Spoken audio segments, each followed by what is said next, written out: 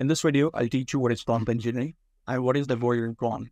Not only that, I'll also give you a bonus prompt that you can use and try yourself. Since November 2022, people have been wondering, will AI take my job?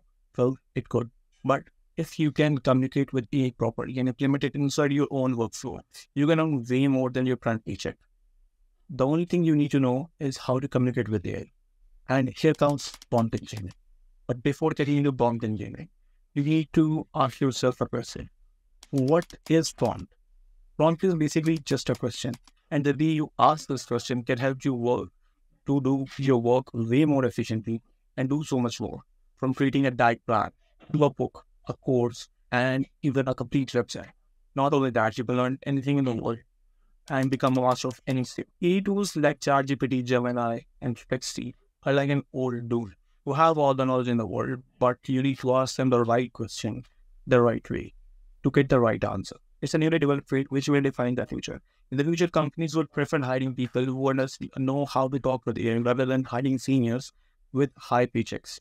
So, in whichever field you are, this course is for you. I'll show you how you can generate prompts like these and get responses like that.